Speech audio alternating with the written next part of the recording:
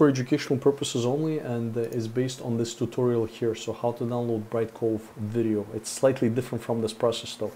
So what we need to do is we need to get to the page that actually contains the Brightcove video as we see here. Then what we need to do is uh, change inside the develop section, we need to change it to iPhone uh, user agent.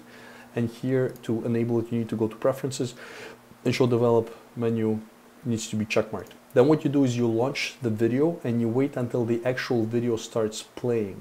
And then what we need to do is we need to find the Brightcove link. Um, in the tutorial here they show that it's an MP4 link, but that's no longer the case, at least in my case. I see the I see the M3U8 link that appears, the file that appears like this.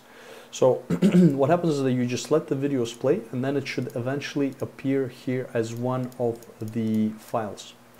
And then the only thing that's left to do is to double click that file. It's going to open up the video that contains uh, the Brightcove file.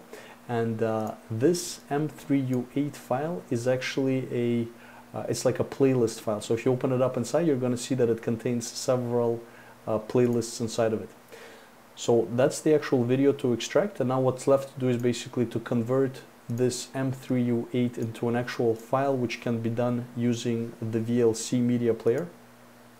And there are tutorials that show that you basically Google up M3U8 uh, to MP4 and the processes they, they, they change depending on the system. So right now I'm on a Mac but I'm using a virtual machine here to do the actual conversion. So I click on media, I go open network stream, I put the URL that we just saw in the previous window. I do convert, enter the file name, click start, then it's going to go through the whole process and produce the actual final file here.